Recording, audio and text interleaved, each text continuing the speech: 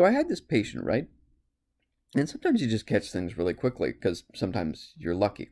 This patient happened to have some right knee pain and some left hip pain. And it just so happened they also turned to grab something. They kind of rotated back on the left side, rotated back towards the left. And what was noticed is we didn't really move through the trunk, which you should move through the trunk when you're rotating, but we had some movement, some real excessive movement through the pelvis and through the knee. And that's important. It's important to investigate that because the trunk should definitely move. I don't think anyone's going to argue with me on that one. Now, further inspection showed that it was really that low thoracic region and pretty much the whole lumbar was rigid, fixed, like unmoving. And again, movement's normal for any part of the body. There's certain motions that they do better, but this should definitely rotate. Now, we'd be slightly more specific and say the area was generally flexed. Say it's just just like that. And now when you're in this flexed position, say take the, the discs and the major joints of the spine, we're in this flexed position, you are compressing more on the front. You're pushing down on that, so it's like you're kind of squashing it from the top and the bottom because the pelvis is a relatively solid structure. The lumbar spine is, by comparison, more flexible. So under that pressure, we get pressurization of the discs, which slowly starts to mobilize them.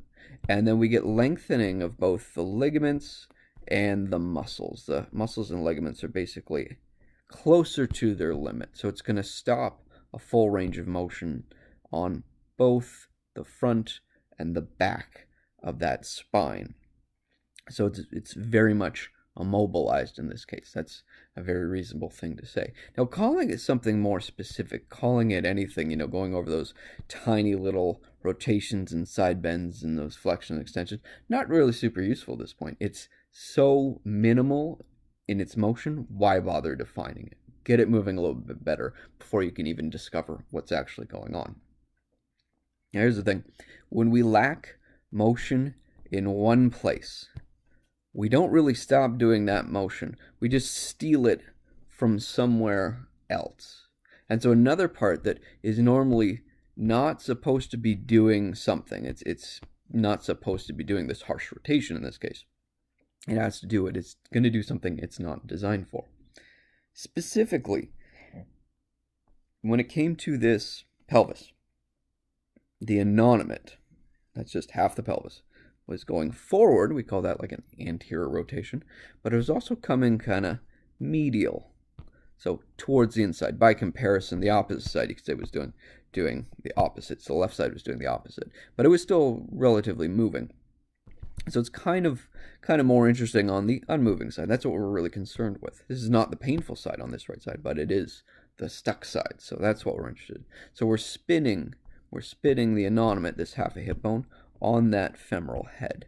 And now when you do that, yeah, you definitely have an effect because there is a number of ligaments between the acetabulum, that innominate part, and the femoral head. And when we start to lengthen those ligaments, we start to make a big difference between the position of this and the relative position of this.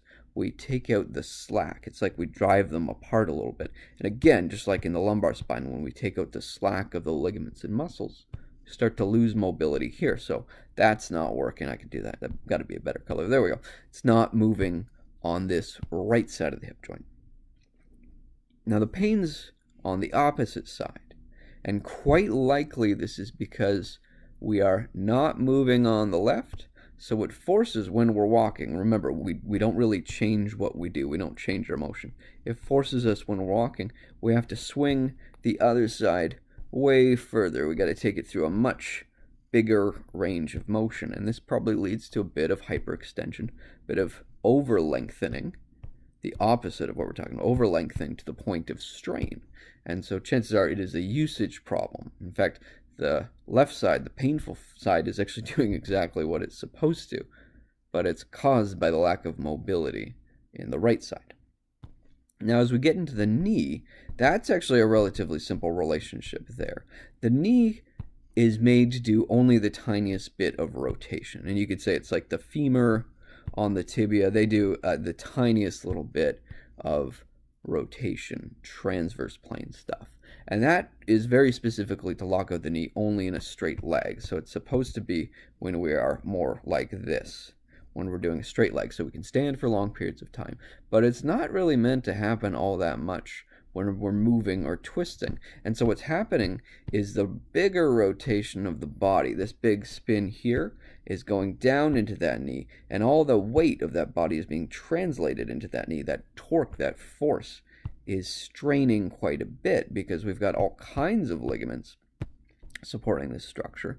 And there's they're good ligaments, nothing wrong with them, but ACL, PCL, MCL, really the capsule as a whole, the, the whole encapsulation of the knee is going to be on some kind of a stretch uh, in excess of what it would normally be. It's not meant to bear the entire weight of the body in that motion. It's okay to bear the entire weight of that body in flexion extension and in a relatively straight leg, but when we're twisting through that, that's a bad idea. You got to keep that more stable. So we are overworking mainly two things. Should not be overworked. And I guess this person had been reaching back in rotation a lot, and that's what was aggravating. You know, you could say we could fix this by never reaching back, never twisting again, but that's really not realistic.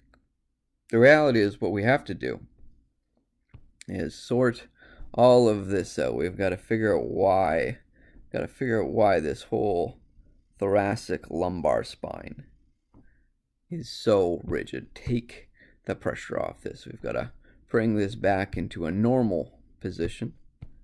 And then we've got to get motion returned to the soft tissues so that we can actually get movement, proper movement through the trunk. Only then will we get some kind of a lasting correction to that hip and the knee on either side, on both sides.